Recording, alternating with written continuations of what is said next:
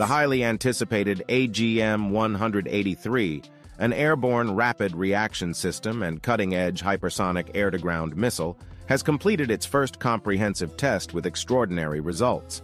This thrilling test took place on December 9th under the watchful eye of the 412th Test Wing stationed at Edwards Air Force Base in Southern California.